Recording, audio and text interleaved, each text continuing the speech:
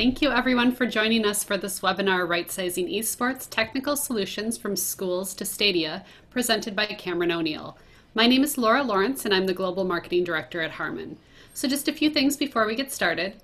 Everyone on the call is muted to keep down noise levels during the webinar. However, there is a Q&A function where you can submit questions and Cameron will answer them at the end of today's presentation. This webinar is also being recorded and the link will be made available a few days after the presentation.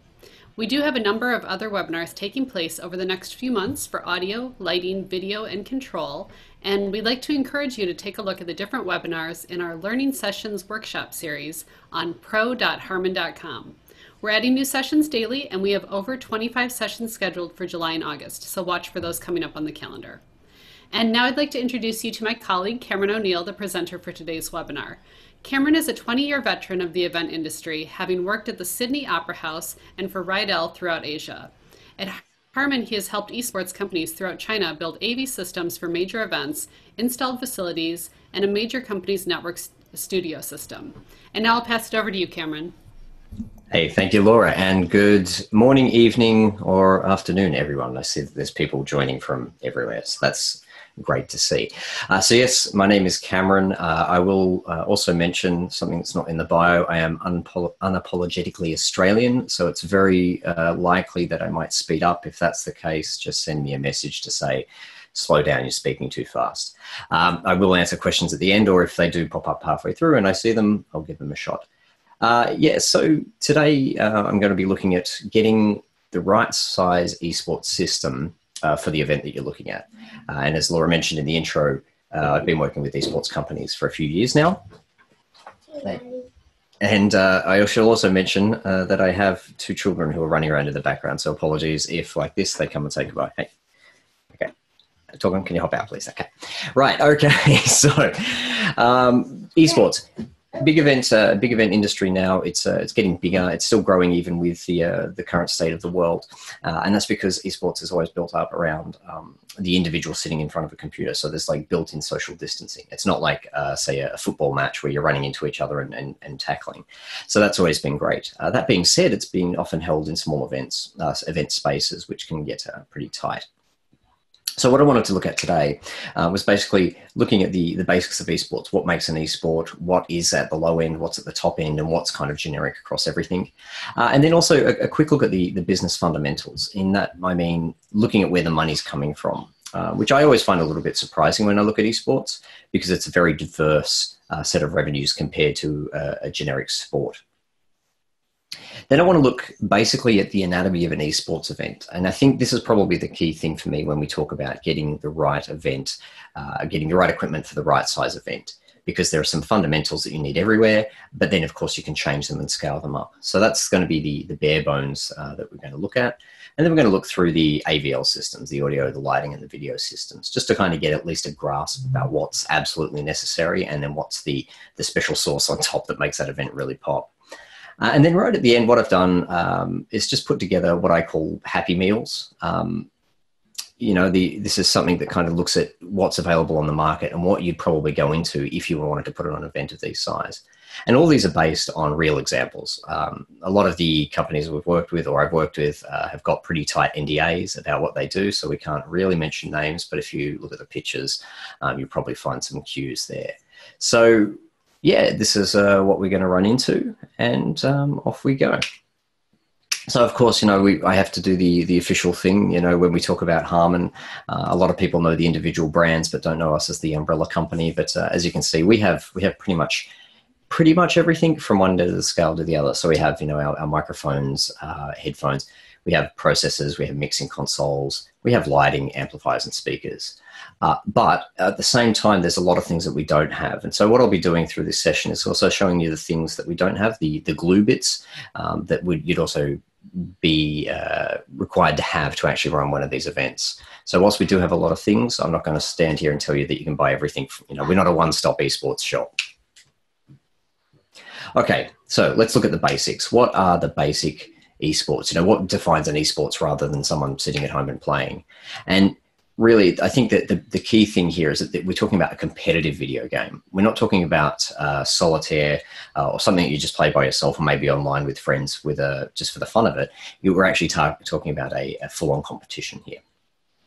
And these are usually organized into leagues. Uh, there are a number of leagues. Some are run by the game publishers themselves, like a Konami or a Nintendo, uh, or, or, Blizzard is probably the most uh, most recognizable.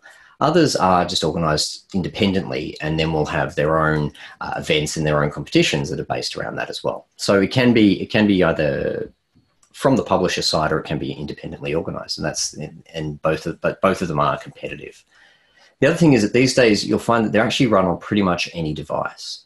Now, as a as an AV guy, of course, I love to have the PC because a PC has usually got every output I could want. I can mirror out um, HDMI. I can get, you know, if I really was going backwards in time, I could use RGB. Connecting a computer to a video system is something that we've all been doing for, for decades.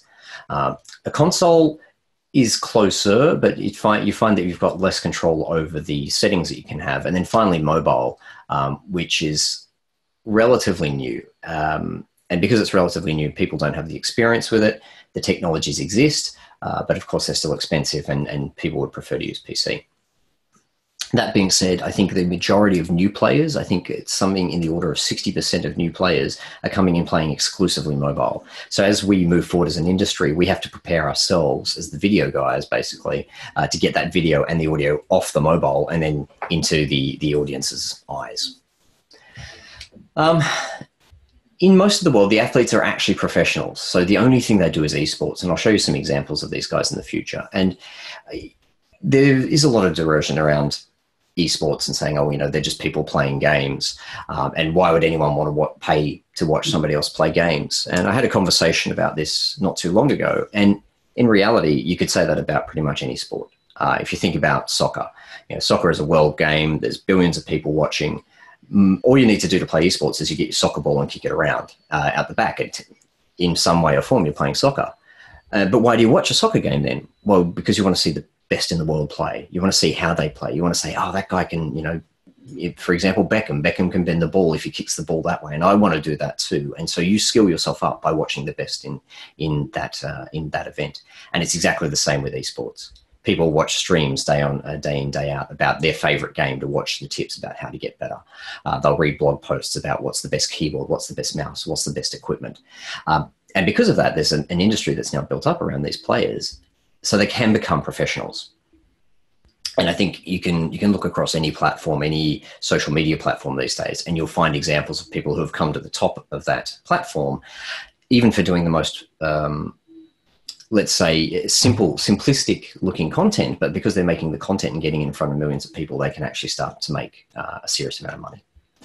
And with esports the prize money is now in the millions of dollars. Uh, i think the highest so far is the league of legends world final. I can't remember if it's 2018 or 2019 uh, but the prize money was in the order of like 13 million dollars. And then i believe fortnite was also pretty close there as well last year. There are four main groups of sports of, of games, I say that uh, that that give you sort of an increasing complexity in the uh, the kind of event that you have to put on. The first one is what a lot of people think when they see esports, especially now, uh, because you have a lot of promotion around, say, the Formula One doing their esports tournament in parallel to their their um, their normal races. Uh, a lot of companies have had to go, and a lot of sports codes have had to go to esports um, to get around lockdown laws. And a sports simulator, uh, I'll show you in, in a second. Um, a first-person shooter, though, is uh, is where you're looking through someone's eyes. You're not controlling a team anymore. You're not looking at something that's based in reality. Uh, you're basically running around shooting up people. It is the most popular kind of game in terms of what's being played online, but in esports, it's it's still up there because it's exciting to watch, uh, but it is very difficult to watch. The one that's really the, the money winner, though, is the real time strategy, the RTS game, or what's also called top down. And I'll show you an example of that in a second as well. This is where multiple players are not controlling one person anymore. They're now controlling a team again, but you're looking from a, a top down angle. Um, but the map is, is uh, not visible to everyone.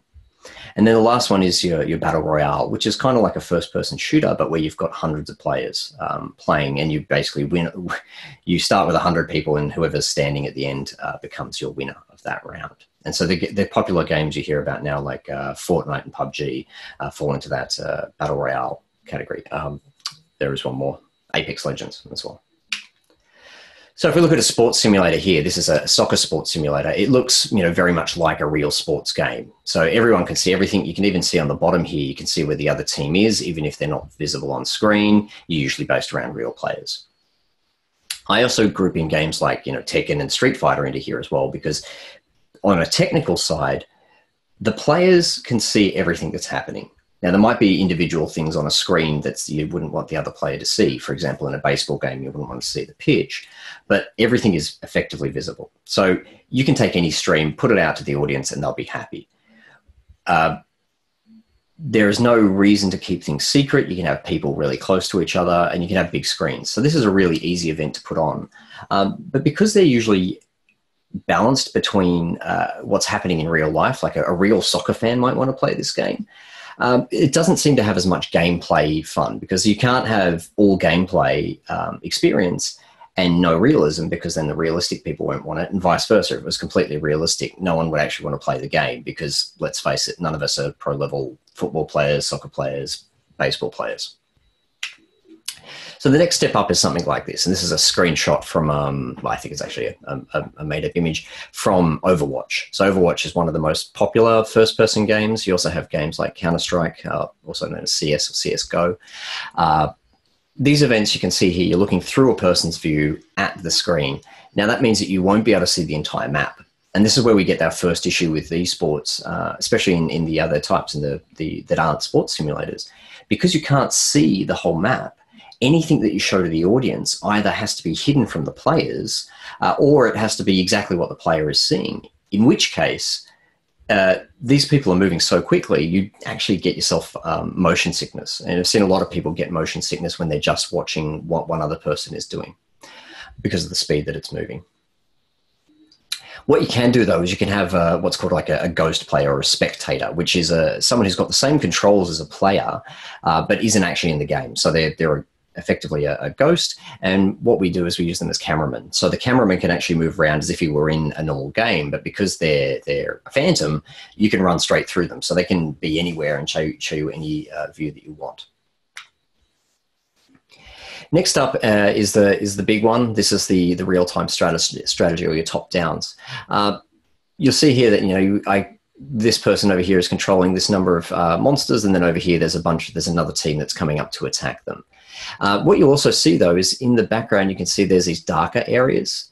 Those are areas that you as the player can't see. Uh, now, obviously, every player, and there's usually 5v5, so you've got 10 players, will have their own view. Some might have a shared team view, but you've got a minimum of two views here. Um, and then, of course, the audience wants to see everything that's going on the map because there are other things that the game spawns that's not related to the player. So, um, you know, background players, power ups, that kind of thing, that are hidden by the map from the players, but the audience want to see where they are. Now we're getting into the real problems here. Uh, first of all, you've got you know huge money, uh, huge money on the line because you've got millions of dollars here. You've got audiences who know the game back to front and have favorite teams, so they'll be standing in the audience and yelling out, saying, look behind you or go left or go right. So you need to make sure that that doesn't happen. Uh, you've got the chance of a player turning around and looking at the big screen behind him and knowing everything about the game instantly.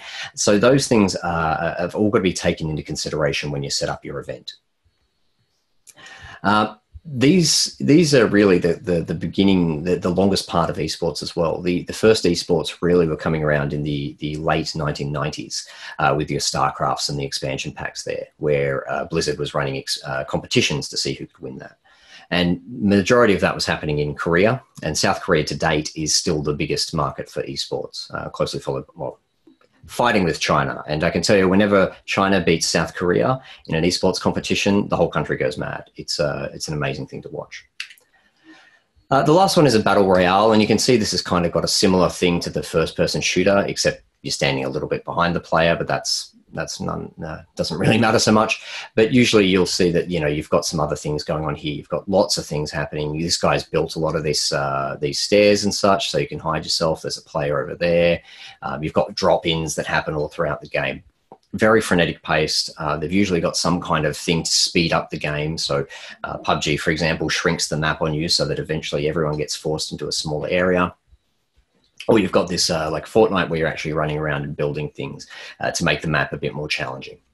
Um, they are, however, very fad based. And what can happen very quickly is you can go from being on top to on bottom uh, almost overnight. And uh, I use the example of PUBG and Fortnite here. Uh, PUBG was running with 3 million players a day uh, at the end of 2017. And then by the end of 2018, it was down to a million players a day. Uh, because those 2 million had shifted across to Fortnite. And a similar thing now is happening with Apex Legends, but I don't think it's gone as far as that.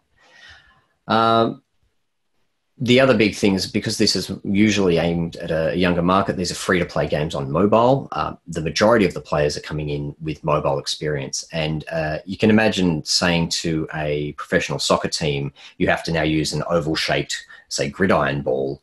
They're going to say, hey, hang on, that's not the equipment we use.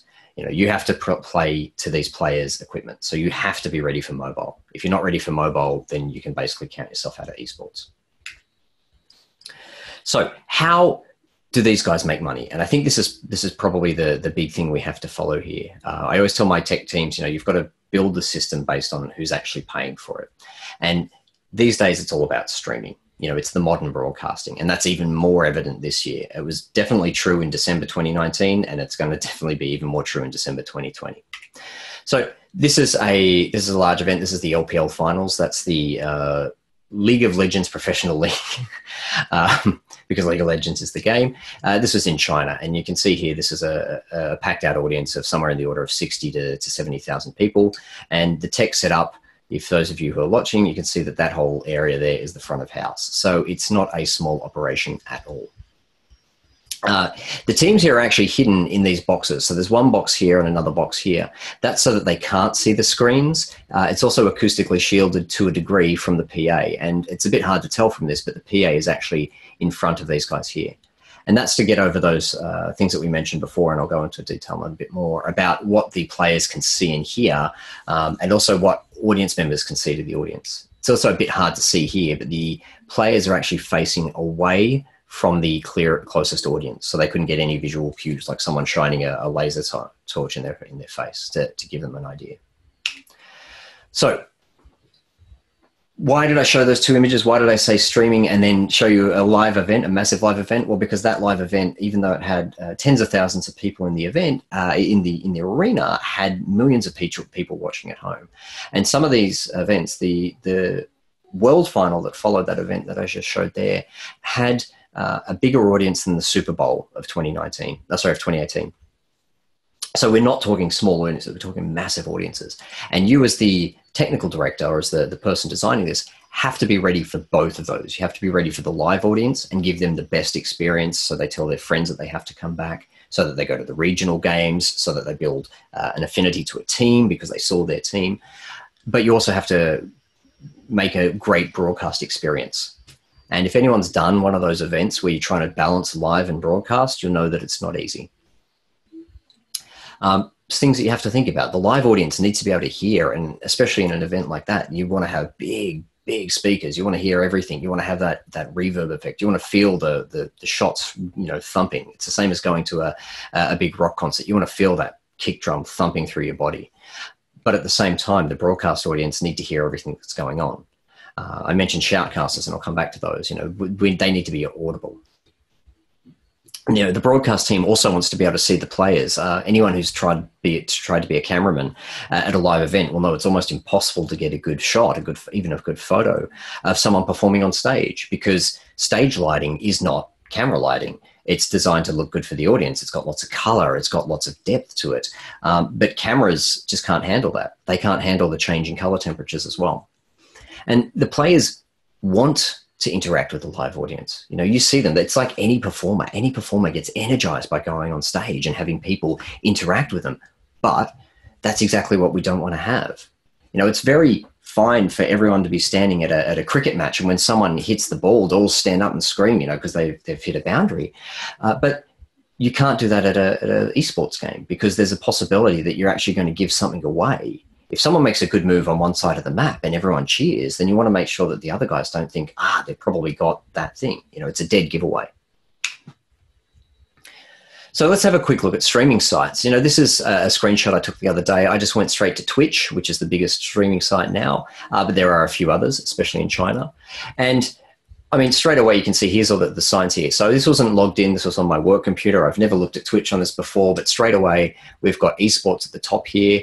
Uh, almost everything down here is some kind of game, and you can see some of the men- things I mentioned before. You've got Apex Legends, you've got you know Fortnite three times, um, you've got some of the other first-person games like uh, Call of Duty and God of War, and then over here, you know, of course, there's a. Funnily enough, there was a chess game first up, but it is someone streaming, and this person's got six people viewing him right at that second. Uh, down the bottom, you've actually got League of Legends. You've got, uh, I believe that's, uh, no, it's not Counter Strike, but it's one of those other first person games. And then you've got God of War. So t- streaming now has been completely taken over by gaming, either competitive esports uh, or by people who are just esports players who are just streaming in their in their let's call it their downtime. And now, why would they do that? Well, first of all, the, the sorry, the, the highlights there to say exactly what I said. You know, this is this is what people do, but the money that comes from streaming is actually about a third of the overall revenue that goes to esports. Now, there's two two ways to do that. The first one is through advertising on a stream. So if I if I have one of these streams here and someone comes to view me, then I will get some advertising money every time someone sees an ad or clicks an ad. But at the same time, I can also subscribe to, to Voyboy up here and I can start, start a subscription. I can pay him every month or I can pay him during the stream if he does something good. And those two things combined make up a third uh, of, of the revenue, which is more than uh, the media advertising that you'd get on a broadcast channel or the broadcast rights um, or sponsorship. So when we think about a normal sports team, we're usually talking about sponsorship and broadcast rights. If you talk about a Formula One team, that's where they get their money. Uh, a football team, that's where they get their money. An NFL team, it's sports right, uh, it's uh, broadcasting rights and sponsorship. But with streaming now, people have gotten so much money from this, they're able to do things like this. Um, if you look up streaming houses or look up uh, 100 Thieves, 100T um, on on YouTube, you'll get this video here, and this is what they call a house. So they literally go out and buy a house, and they'll have their team uh, with a, a, practice room here, and that is streamed 24/7. So anything these guys do is streamed, and they're making money off that all the time. Um, some facilities, like uh, some of the ones in Shanghai, are built by the leagues. Others are built by the teams after they win um, the this money, because effectively you've got a bunch of twenty year olds with a lot of money. They can do this to make even more money, so they love it. Excuse me. But then on the other side, we have the live event side of it. So. Um, if, if we have a look at the, the ESL, this is one of the ESL finals for Counter Strike Go. Uh, you can see every player has got um, a camera pointed at their face. The play, uh, the the video switches can take any one of these views plus any of their cameraman views and put that onto the screen, and you can just get a sense of the audience in the back there. That's another arena show with tens of thousands of people. Um, China is probably the best example of this. So LPL over there have built six facilities uh, of varying sizes. Some of them two or three hundred people. The biggest one I think is about five hundred people. Uh, but they also have six fly pack sets uh, because what they're trying to do is have that home game away game feel. And this has really helped them in the last couple of months because they can send that fly pack to any small room, uh, plug it in, and it's all connected via a remote connection back to their facility in Shanghai. So the engineers can stay in Shanghai, they don't have to travel, uh, and they can be controlling any of the events anywhere else just using the LPL network. And that then gets you this local live um, event feeling so that if you like, uh, you know, 100 Thieves, for example, from the last slide, you can go and see them without having to travel too far. Uh, every basically every night, six nights a week, there's events, and these things are like cycling through. So they'll do two or three games in a night, and you can have a ticket to see all three, or you can come in and out uh, for for just one of them. And it it is uh, supercharged sports event in a tiny little room and it's it's great. It's really it's really an experience that you'd have to go and see. So the live event is part of it as well. Live events also make up uh, about 10% of the overall revenue as well um, for the teams. But of course, once you build that team loyalty, you then get them on your streaming audience, so you're building more money there. Cool. So how do we bring all this together? Here's the uh, here's the event. So basically, let me bring all this up here. We have um, Team A and Team B. They're obviously the biggest uh, biggest part of the, the event, but we need to have a stage. You know, we know that you can't just have a bunch of people hanging around. Uh, you need to have them on something. Then, of course, we have their backstage. They have their coaches, they have their friends, they have their backup players, they have their warm up areas. That's all backstage, and so we need to have those back there. We also have judges. Uh, one thing I haven't mentioned is that uh, a lot of esports this day, these days are focused, um, critically focused on um, legitimacy. They, I've mentioned it a few times. We don't want to have people calling out from the audience and saying, "Hey, he's behind you." We don't want to have um, someone somehow impacting how those two teams are going to play the game. So the judges are watching that, uh, and they will be absolutely uh, on point when it comes to legitimacy of the game. And then, of course, we have an audience. So the audience is there. They need to see, they need to hear. So we have screens, we have speakers, we have LED walls, and then we have lighting so they can actually see the teams. Um, you saw before that a lot of these guys are in the boxes. Uh, if they're in a box, it's very hard to see that, but of course, we need to make it a bit interesting. So that's why we also have cameras so they can see what's going on there. At the front of house area, you'll have uh, an announcer, um, usually more than one. It's a sports event. And what you'll see is that the announcers are usually called shoutcasters because they will stand up and they will shout. So again, you've got these speakers, these massive PA speakers, blasting out everything that's happening in the game that the announcer is seeing. But of course, we don't want the teams to be able to hear that. So that's a that's a typical audio setup. That was uh, that was in prep for I believe it was the the photo we saw before the LPL finals. Um, and you'll see that there's multiple consoles, and it's a bit harder to see. But in the racks of gear, you've got lots of um, intercom matrices. There's an intercom matrix over there. There's a third console over there. These are actually mixing uh, for the teams themselves, and there's a lot of mixing that actually also goes on within matrices and intercom systems.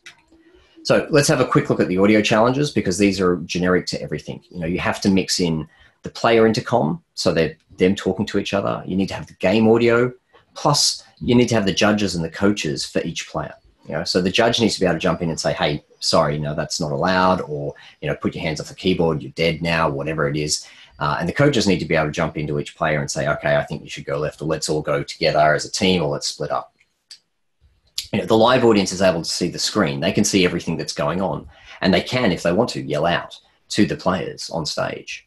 And you've got the announcer who, even if the audience doesn't want to get on the audience, the announcer has to explain everything to the audience. Lastly, you've got this kind of um, mix of reality and game based footage. So now we're talking about uh, the stream itself. So if we're looking at the stream audio, you need to know where your audio is coming from because as these people move around, the people listening also want to hear what the player's listening. Uh, sound is a very, very important part of the first person games um, and the, the, the, battle royale games because if someone's coming up behind you, you want to be able to hear that. And of course, if you're trying to learn how to be the best player, you need that as well. So we need to know whose audio we're listening to. Are we listening to the virtual cameraman or are we listening to the player? And then we also need to know where that positioning is. Uh, a lot of systems these days will have some kind of positioning data in there as well, like HRTF is the main one. Uh, an example to use the, the JBL system is our new quantum headphones actually have that as you move your head around, they'll try and track the audio with you. So that all needs to be fed to the broadcast team, to the streaming team to make sure that gets out. So let's have a look at some of the, the audio flows here. Uh, so you have the game audio, which has to go to the player. And usually they'll just have a pair of earbuds that'll go directly to their computer, directly to their ears, because they don't want to have uh, any delay. And if you look at photos of esports players, you'll often see that they'll have a pair of cans on like this, but then they'll also have a second set of wires going in there, and that's for their IMs, their in-ear monitors. Next, you have comms.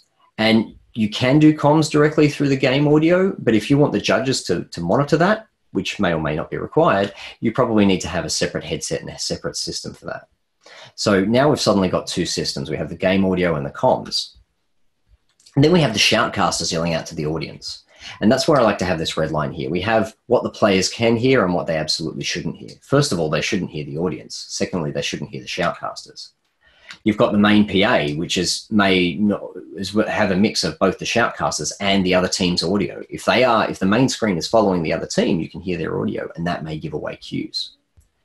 Then down over here, we have the stream audience. So the stream audience, of course, want to have everything. They want to have all the team comms. They want to have the game audio. They want to hear what the judges are saying sometimes. They also want to have that feeling that they're at the event. So they want to hear the live audience as well.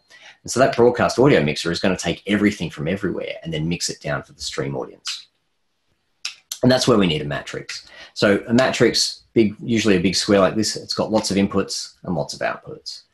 Now, normally you'd think about a big audio mixer, but of course we don't have space for a big audio mixer in a lot of these events. So how can we get around that? Well, I see that there's there's two ways basically. You've got a traditional mixer or you've got a network mixer. Either of those is going to work, but they've got these common features. So any input can go to any output without blocking any of the others.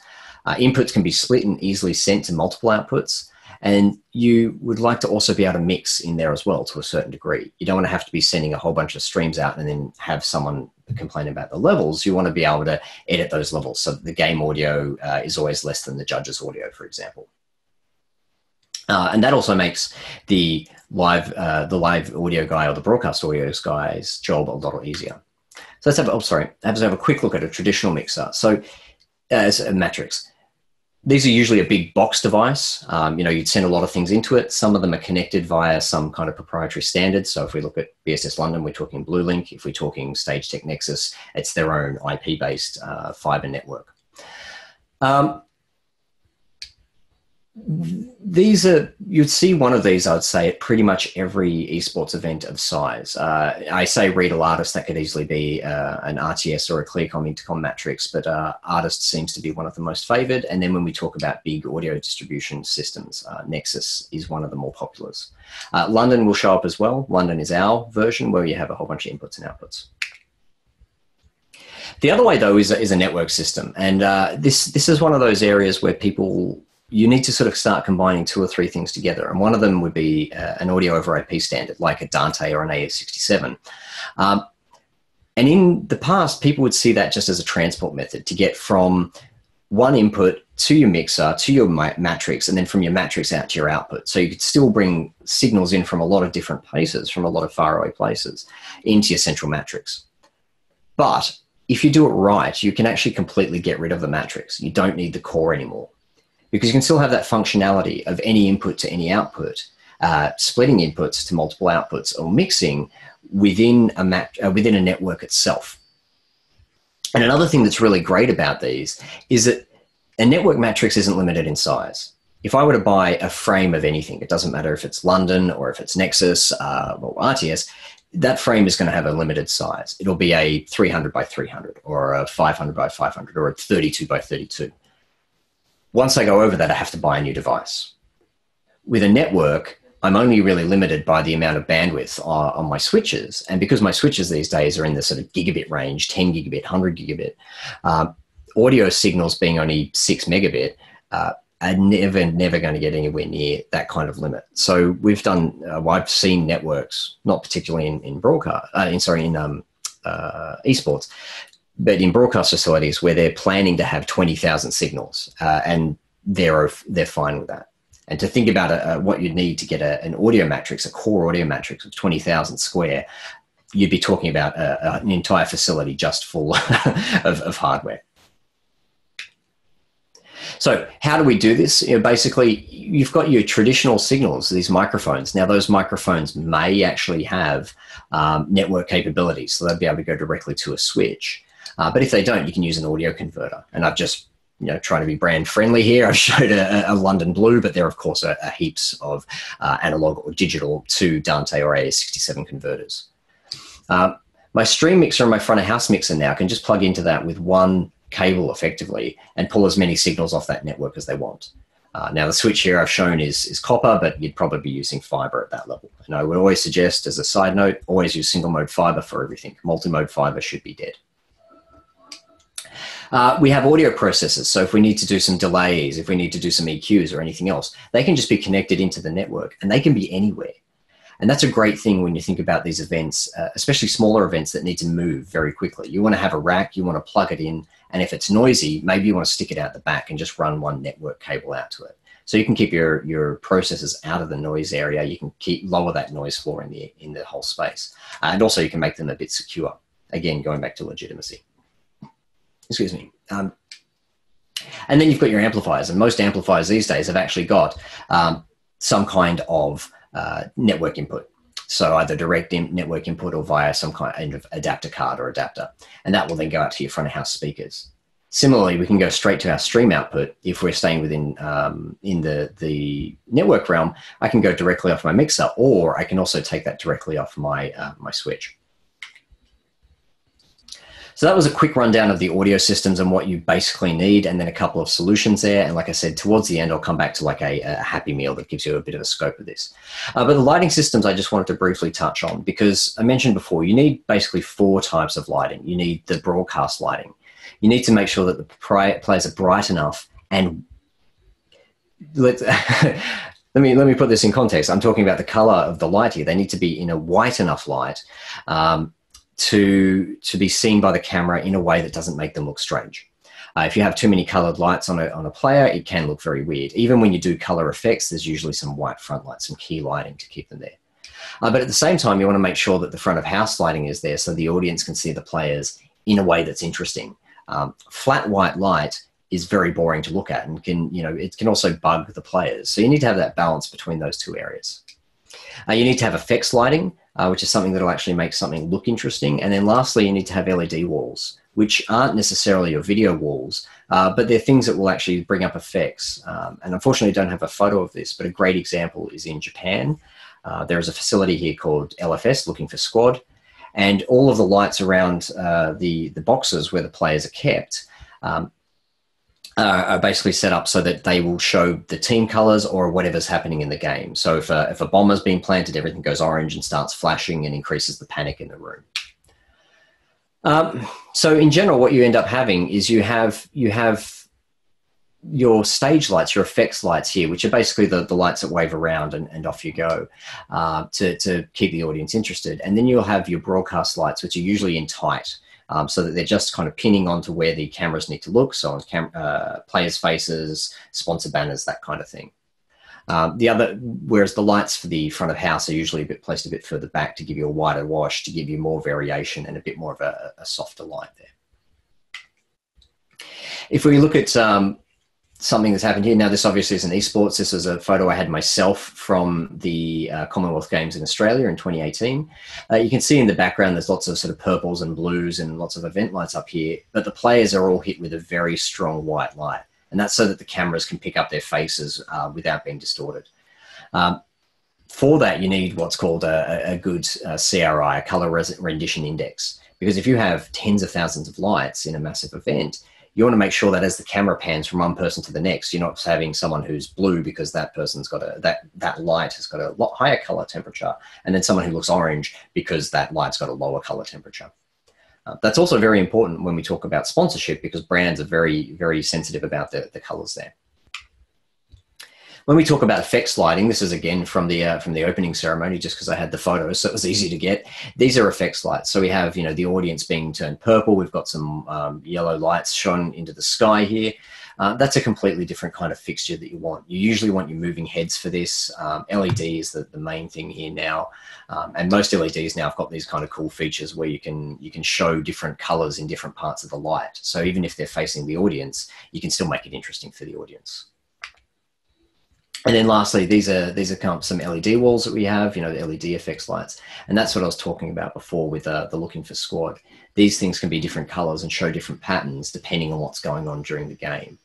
Um, you can also have it maybe as like a, a, a, rough counter. So the more players that are that have been killed, the more things that get stacked up, and it builds the tension. So quickly into the into the video system, which is probably the hardest part um, technically, but it's is kind of relatively simple to show. So you have um, you have your main screen that you plays the the audience need to see, and you only have a very limited number of real cameras. Usually you'll have one per player or even just one per team just to show their faces and their reactions. Uh, and then you have one for the shoutcaster so that you can show that them on stage, you know, especially during, uh, during breaks. You'll usually also have, especially in, in smaller events, you'll have a spectator PC that's providing the main video feed. And that's so that you don't have to worry about taking video splits off the individual computers or mobiles, uh, and that you don't have any players complaining that you're impacting their gameplay by increasing their latency by having to, to, to deal with their system. Um, so to, to get rid of those, those problems, we usually use a spectator PC. So all of those go into a video mixer, and then the outputs for that are the main screen and a streaming coder. Now, this is where we start thinking about what's the right tool for the job, because I can go into any broadcast truck these days, and I'll find something like this. Uh, so this is a Sony MVS 8K. Um, these these are the the top of the line 4K mixer. They've got IP, they've got uh, SDI, they've got everything you can imagine, uh, but they do cost between quarter of a million and a, and a million bucks. Uh, the original esports events were usually done on something like this because they were mostly run by, say, an NEP company, a big outside broadcast company. And that's what they had because that's what you need uh, for a football game where you've got 60 cameras. Uh, an example is, is, the Formula One where there's 64 cameras or more. Uh, plus, then you've got all the data and streams coming from the cars and the on car videos and such. So you need a massive, massive switcher. But because, as we saw before, there's not many cameras, uh, you can limit the video sources by using something like a spectator rather than taking the game view. You can actually get away with a much, much, much smaller console. And I've, I've thrown in the, the Ross Graphite here because this is a, a fairly common um, uh, console that you'll see at the sort of mid-sized esports uh, arenas. So a Ross Graphite is going to cost you, give or take, 40K, which is probably more than you'd have in your pocket, but it's also within reasonable uh, grasping distance of a, of a rental company. So you'll find that if you want to rent one of these, you're usually renting an entire OB truck at the cost of you know 100 150,000 dollars per day, uh, plus services, or you can go to your rental company and there's a good chance that they'll have something like a Ross Graphite. At the other end, at the sort of starting out level, the vMix and OBS are two of the most popular bits of software out there for streaming. So OBS, uh, especially because it will connect directly to um, Twitch or other streaming platforms, and vMix does that now as well. Uh, but OBS and vMix you can download for free. You can download it and you can be streaming usually within about half an hour. Uh, vMix has got more event related um, functions, and that's why you can see it sort of ranges from free up to about $1,200. But even then, at $1,200, you've got the fully featured 4K vMix uh, platform, which will then use your computer as the video mixer uh, and will accept a number of streams in, as well as streams coming off other computers and from, uh, from spectator computers.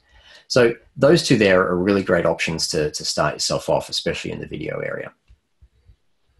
So, conscious of time, I know I've blasted through a lot of things there, and I'm hoping that you've got some questions. Um, I just want to show you basically what I what I call like the right size for an event.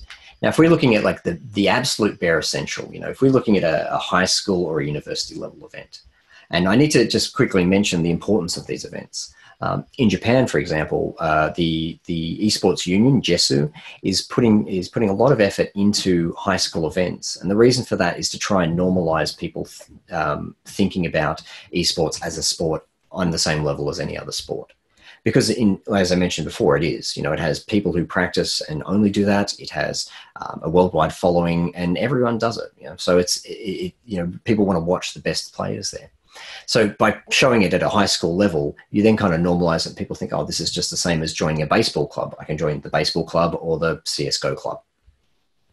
Now player intercom um, this is something that's that is critical. As I mentioned, you need to be able to talk to the other players and you need to be able to control what they're hearing. But there are systems like Discord, again, a free bit of software that you can use. Uh, or some games even have their own built-in communication system, and you just use that and some standard gaming headsets. That will let you have your teams talking to each other. Their coach may be jumping in and talking to them as well. Uh, but it won't let you have that uh, judge break in. The judges won't be able to hear everything that's going on. Uh, but if you're not talking about a top level competition, then that's more than enough, I think. Uh, for the stream production, a lot of uh, games will either have what they call like a tournament mode or a spectator mode.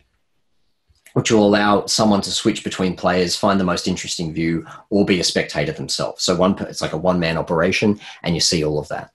Now, that same computer, if it's powerful enough, could be running OBS or vMix free, again, a free bit of software, uh, and then you'd just be pumping that straight out, uh, both probably to the screen and to the stream. And that there has got you covered. You could, if you wanted to, split out um, split out uh, the live video production onto a separate computer and have somebody else operate that separate to uh, the stream. And again, you, that's where you'd do something like vMix Free. Uh, vMix is a lot easier to use as a mixer rather than OBS, which is more about scenes and like a production. Uh, so I wouldn't suggest you use OBS there. And then, of course, you need your standard thing like a projector or a large screen in these events, usually to, to keep the players separate and to keep them separate from the audience, the best thing to do is either put them in separate rooms uh, or put them in what I call like a fish tank, where you've got like a glass surround or a, one of those Perspex drum surrounds so that they can't get as much noise. But again, the stakes aren't so high, so you don't have to be so, um, so onto that. Lighting, you'd probably just use white light. You know, we're talking about small events. You might have some effects lights if you've got them, um, but nothing too fancy. And then same with the sound. You know, portable powered speakers. You chuck up a couple of say EON speakers onto some sticks and a little console, and you're fine. Uh, the one thing I did say though here is um, digital is preferred, and d- digital is preferred because you want to be able to recall scenes very quickly. Um, small format mixers that are digital will usually let you handle more channels um, than, a, than a larger format analog console in a smaller footprint. So stepping it up now, we're talking about you know a, like a high school final or a university level heat. You know where we've we've now got some money. We're talking about some collegiate level games. Um, you might still want to be sticking to the to the um, to the in-game comms or something like Discord, but there are also a number of um, hardware intercom systems that are built for games. Uh, the Astro Gaming Mixer is one of the most popular ones. Um, and that will have the ability to have not just your own comms, you have uh, your game audio in there, you can have other people's game audio, and you can then also have judge channels and such going on there. So that's a good little tip to have. Uh, and it'll also let the player very easily mix between the comms level and the game level. So if they're trying to concentrate on the game, they can turn the game up and completely ignore the comms and their teammates yelling into them. In the stream production, again, you probably use the same stuff here. Now, you might want to upgrade your vMix, but OBS uh, or vMix are absolutely capable of doing uh, a let's call it a good enough stream with insets. They can both do picture in picture. They can show you the game video or the spectator video uh, and a couple of other sources uh, without having to go too far overboard. And again, same with the, the, project, the projector. A large screen, one single large screen is going to be enough. Um, however, you're probably at this point going to want to start throwing in some effects lights. You know, you're going to want to actually have some color, some movement. Um, once you're talking about final level events or like a proper collegiate event, um, you're going to have half times. You're going to have changeovers between games. You're going to want to sort of engage the audience a bit more, and so that's where effects lighting can really help that out. Uh, but again, on the sound side, even at a larger event, I would suggest keeping the the front of house PA as low as you can. Um, because then you're going to get less bleed coming back on stage. You know, none of us have the time to set up a massive line array and do the calculations and make sure that there's no spill back onto stage. So you want to be able to say, I'm just going to put a speaker up, push it forward, uh, turn the volume down, and we're gone.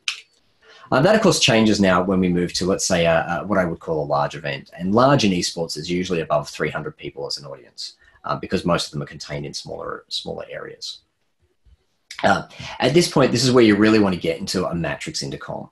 Um, so the matrix I mentioned before is about getting those inputs and outputs and letting anyone listen to anything, or conversely, having someone controlling who hears what.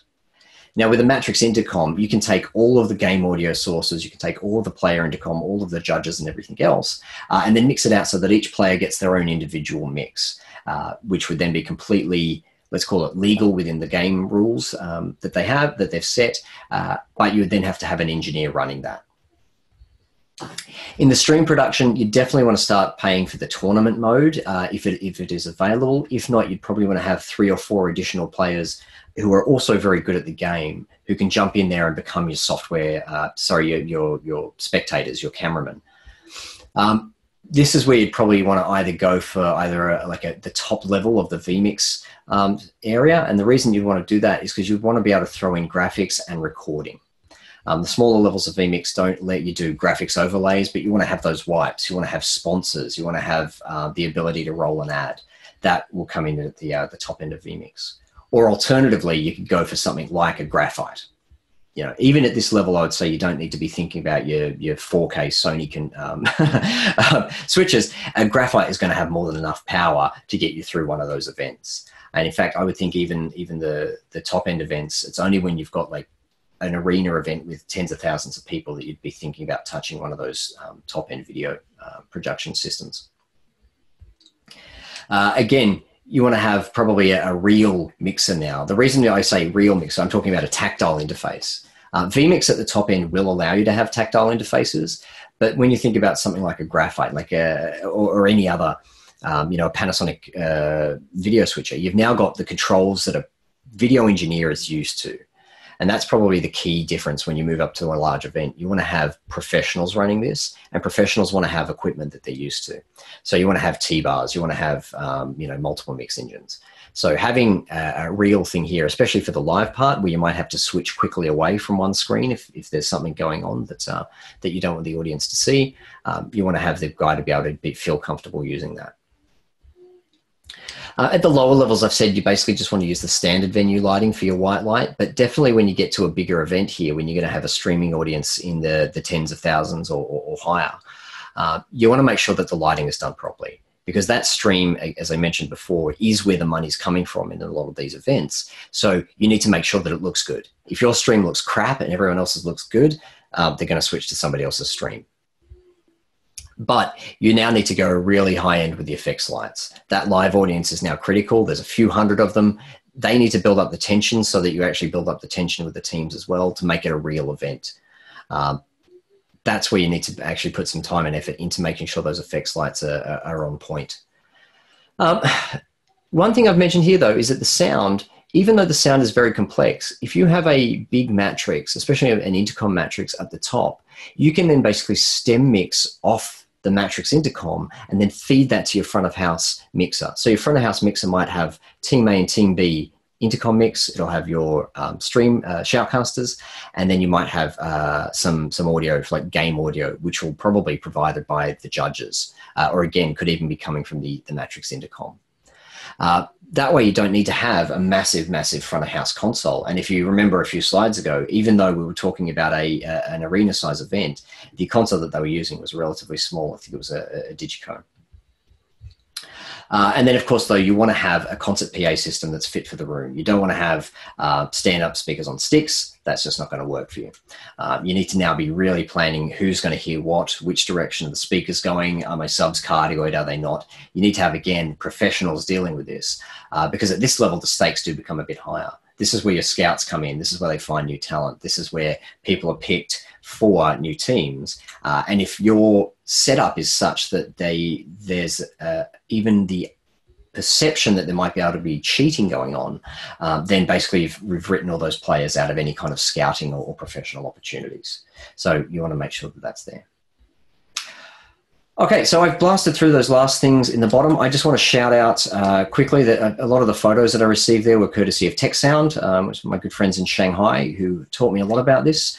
Um, and because I was using their photos and we've got copyright written on the bottom, I wanted to make sure that they got their dues there. So they have given me permission to use those photos. Um, you've got my email address there. I'm more than happy for anyone to reach out to me after the session or if you're watching this on the, on the recording to, to ping me with any questions. Uh, otherwise, uh, that's it from me. But uh, hopefully you guys in the live stream have got some questions for me. Laura, so I'll hand it back to you. Thanks, Cameron. Um, it's a quiet group. We haven't had anything come in. Um, so, like Cameron said, if you have anything that you want to send to him directly, his contact information is up on the screen and he'd be happy to answer your questions. Um, this recording will be put up in a few days. So, if you have anything that you wanted to look back on, um, or if you wanted to catch his first session that he did in the beginning of our learning sessions, that is out on our playlist as well. Um, and we have a full calendar of upcoming sessions. If you want to go out to pro.harman.com, you can check out what's coming up for the remainder of July and for August. But thank you so much, Cameron. Really appreciate it. Um, and we're getting some thanks in from the Q&A box. So thank you everyone for attending. We certainly do appreciate your time. Thanks, Cameron. Yes. Have a great night. You guys too, and uh, thanks everyone for attending.